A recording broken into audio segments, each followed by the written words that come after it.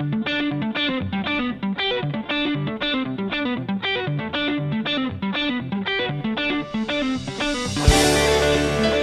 Fifth Street, South Boston. Third floor balcony to painted and rebolted and checked the cement. Second floor, the floor has had flat bars welded on it, so it needs to be replaced. Bars need to be needs to be rebolted. You have a deck in the backyard that's underneath that belongs to the first floor tenant. So, and that's all made of five quarter. And access is through the gate, down the alley to the end, as you can see where the bucket and everything is. And then you take a right and go out to the straight. Typical South Boston alley. No, no easy access.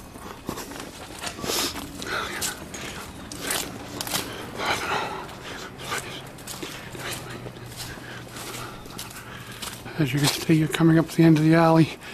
You take a right or a left, depending on which street you're parked on. If you're going to the front of the building, you take a right.